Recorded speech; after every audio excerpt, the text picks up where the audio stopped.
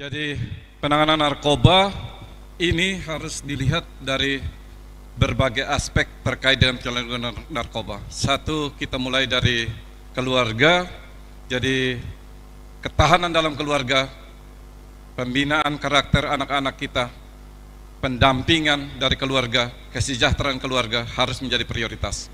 Oleh karena itu, di dalam visi dan misi kami, ini menjadi center atau uh, sentral dari penanganan terhadap berbagai masalah sosial di masyarakat. Jadi perbaikan kesejahteraan keluarga, perbaik per, pembinaan iman, karakter anak-anak di dalam keluarga. Yang kedua, kita tidak mungkin bergerak sendiri. Berbagai stakeholders dalam uh, pemerintahan harus kita libatkan. Tokoh agama, tokoh adat harus kita libatkan apabila kami terpilih, kami akan mengkoordinasikan uh, seluruh stakeholders ini untuk penanganan narkoba ini. Bagi yang belum, kita akan mencegah supaya jangan sampai jatuh ke dalam sana dengan penguatan di dalam keluarga.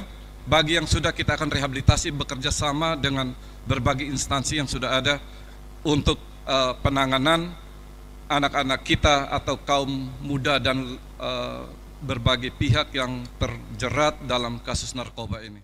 Kita tentu tidak bisa berdiri sendiri hal yang perlu diberi perhatian adalah bangun komunikasi koordinasi dengan seluruh stakeholder baik lokal, regional, nasional maupun internasional dalam rangka pencegahan narkoba dan seterusnya. Terima kasih banyak. Pilih sehati, coblos nomor 2.